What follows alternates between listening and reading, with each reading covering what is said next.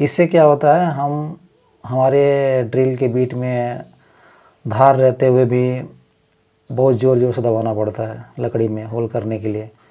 बहुत ताकत लगानी पड़ती है जबकि ऐसा नहीं गई नमस्कार।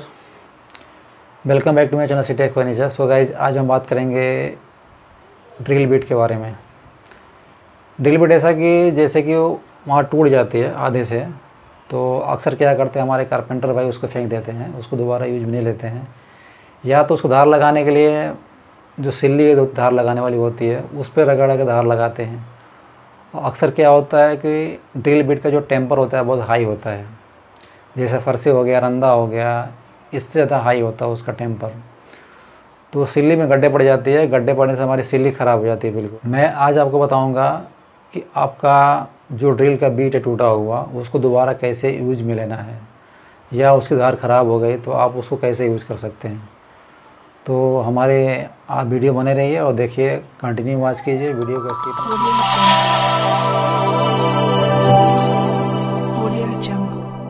बात करेंगे ये ड्रिल बीट के बारे में। अक्सर इसकी धार चली जाती है तो हमारे नए कारपेंटर भाई क्या करते हैं इसको धार लगाते हैं गलत गलत तरीके से। जिससे क्या होता है कि हमारी जो इस तरह की सिल्ली होती है इसका भी उपयोग करते हैं। तो क्या होता है, जब भी धार लगाते हैं तो इसमें सिल्ली में गड्ढे पड़ जाते हैं। ये सिल्ली में गड्ढे पड़ जाते हैं। गड्ढे पड़ने के बाद सिल्ली ख़राब हो जाती है और धार भी हमारा बराबर लग नहीं पाता है। तो आज हम बात करेंगे आपको धार लगाने का नया ट्रिक मान लीजिए आपके पास जो डिस्क होती है, धार लगाने वाली, गोल, जिसको हम सिल्ली बोलते हैं, गोल वाली सिल्ली।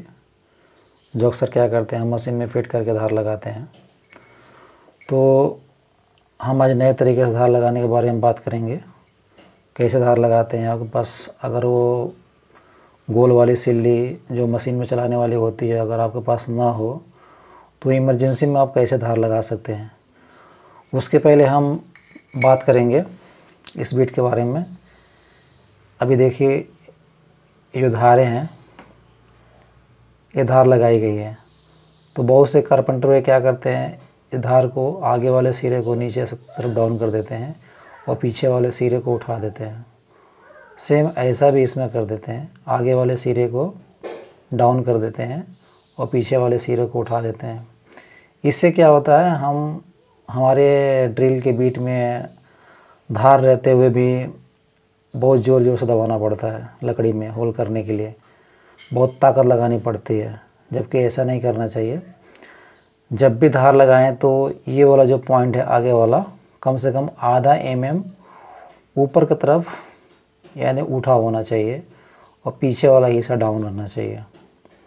सेम दूसरे वाले जो फॉल है, इसमें भी आगे वाला जो हिस्सा है, थोड़ा उठा होना चाहिए और पीछे तरफ़ वाला डाउन रहना चाहिए।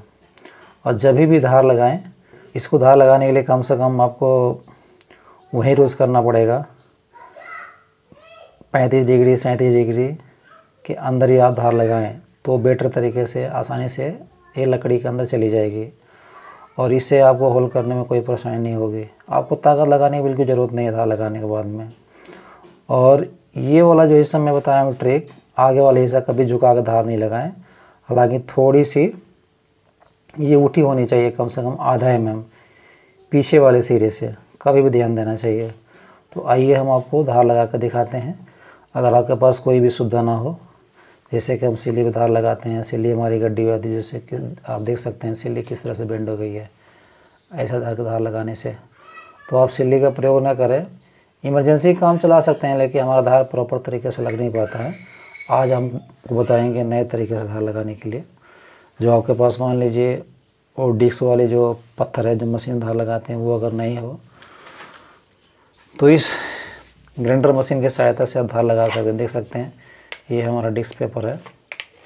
कोई भी नंबर का हो, बेशक रहे कि ये नया ना हो यूजेड हो तो अच्छा है कि नया, अगर पेपर आएगा तो ख़राब भी हो सकता है।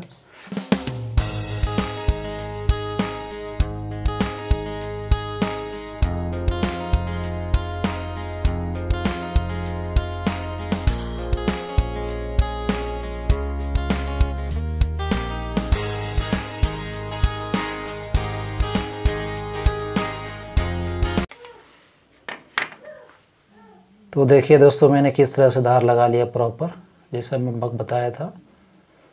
ये पीछे वाला हिस्सा डाउन है, आगे वाला थोड़ा सा उठा हुआ है। सेम दूसरे वाले में भी पीछे वाला डाउन है, आगे वाला सिरा थोड़ा सा उठा हुआ है। ध्यान रखें कि मैंने ये वीडियो आपको सिर्फ़ समझाने के लिए बनाया है। अगर जब भी आप धार लगाएँ थोड़ा पानी साथ में रखें, क्योंकि धार लगाने में थोड़ी सी गर्म हो जाती है। तो गर्म होने के बाद में तुरंत इसको पानी में डाल दें कि इसका टेम्पर ना जाए।